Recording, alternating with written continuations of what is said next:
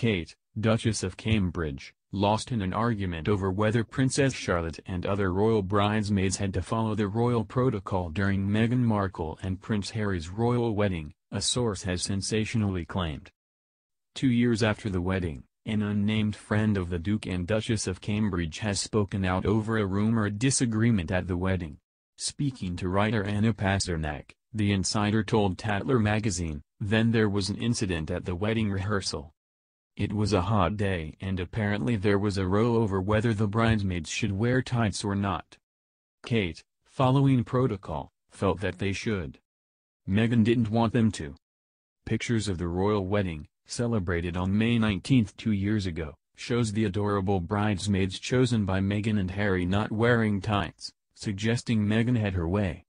Contacted by Express.co.uk, Kensington Palace didn't comment on these claims.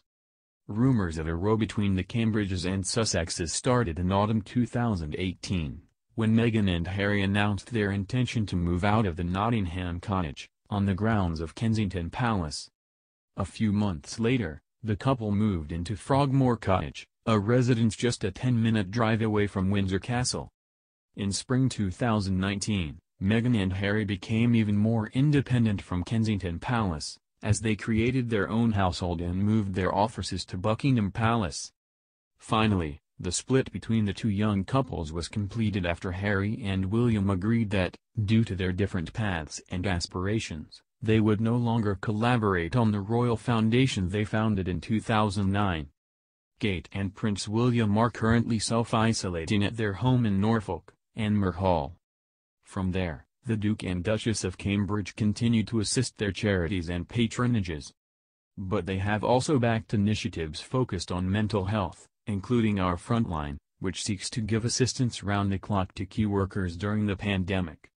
The couple also lent their voices for the second time to an advert for Public Health England's initiative Every Mind Matters, which urges people struggling with their mental well-being to use the services provided by the NHS and mental health charities. Meghan and Prince Harry have on the other hand moved across the pond after stepping down as senior royals. The couple now live with their son Archie Harrison in Los Angeles, from which they continue to follow their patronages and work on the launch of their own non-for-profit platform, Archewell.